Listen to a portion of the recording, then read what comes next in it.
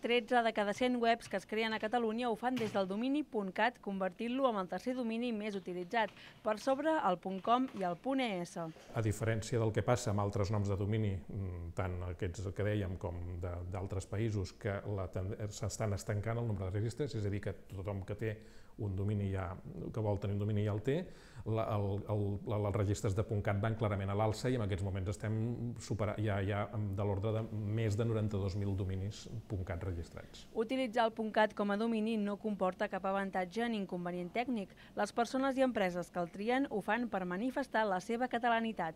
La Fundació .cat només autoritza, concedeix dominis .cat, només els permet registrar a les persones o les empreses que dins de la seu, del seu contingut web hi hagi una proporció significativa amb, amb idioma català o bé que parlin, de, de, que parlin de, de, de Catalunya i el català. .cat és un domini de tres lletres i no de dues com el .es per una qüestió tècnica vinculada a l'actualitat política del moment. Els dominis de, punt, de dues lletres estan, estan reservats als estats. Doncs si tu no ets un estat, tu no pots tenir eh, un domini de dues, de dues lletres. Eh, si en algun moment Catalunya arriba a ser un estat, no ens fem il·lusions de tenir el punt K, perquè el punt K ja el tenen els canadencs, però vull dir, segur que trobarem alguna manera. La salut del .cat és una prova més de la presència dels catalans a la xarxa, com també ho és l'èxit de la Viquipèdia o el Twitter en català.